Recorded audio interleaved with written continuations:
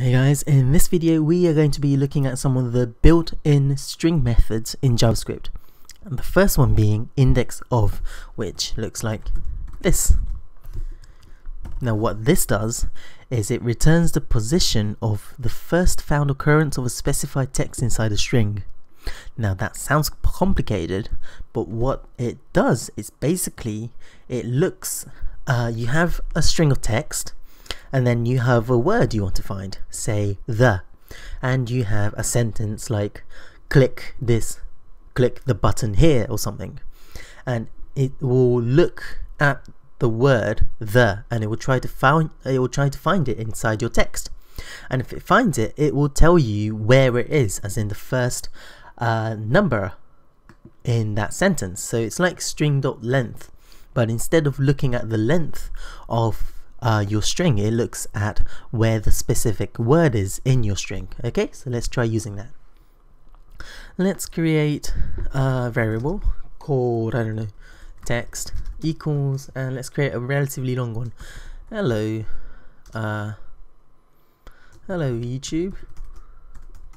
You are watching my uh, YouTube video. Oops, video. Yay.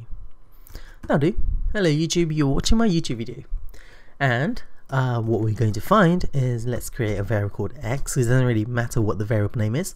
And let's say var x equals str, actually no, text dot index of. And inside here, what we're going to do is write the text or the string we want to find. And in this case, we are going to say, nah, let's not use YouTube let's say R for now okay?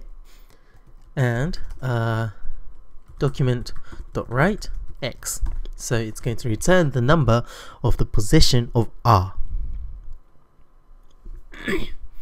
And it's not returning anything. Oh because I made I made a silly mistake of making index of O small um, there we go, because uh, JavaScript object method names and properties and mostly everything are uh, case sensitive, index of in all small and index of with a big O are different things, which is why I didn't recognize. And there we go, we have an under 19. That means that uh, the word R is at the 19th position in your text.